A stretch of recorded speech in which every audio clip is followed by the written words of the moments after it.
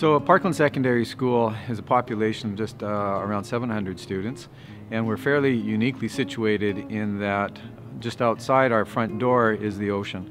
We're surrounded by approximately five marinas uh, and quite an extensive marine industry, in addition to uh, Marine Institute of Ocean Sciences, uh, some partnerships with UVic. And so a few years ago when we started talking about how to um, sustain Parkland and create some interest in our school, it was pretty obvious that the marine, uh, marine environment was going to play an important role.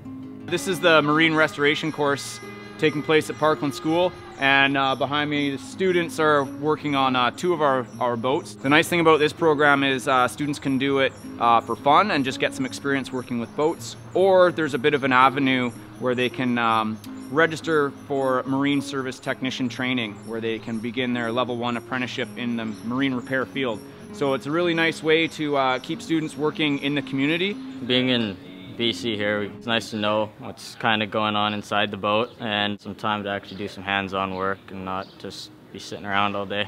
I'm from uh, Shanghai, China. Students like me from other countries don't get that uh, opportunities to do courses like this. Well, it's uh, it's pretty fun to me, and uh, it's uh, obviously a new experience. I've never done that before, and uh, it's a pretty useful skill to learn um, when you get into the field.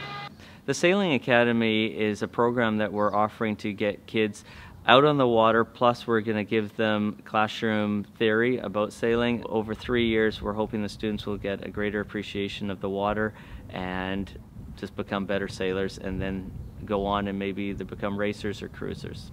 I'm involved with uh, two courses that are part of the Marine Institute this year, Marine Math Science 9 and a Marine Science 12. That's a locally developed course. Climate change is a current issue, and the ocean is an integral role in climate change. And so this is an oceanography prep course that uh, would get academic students ready for a first year course in oceanography. Nine of the students in that class are getting their open water dive certificate through Rockfish Divers.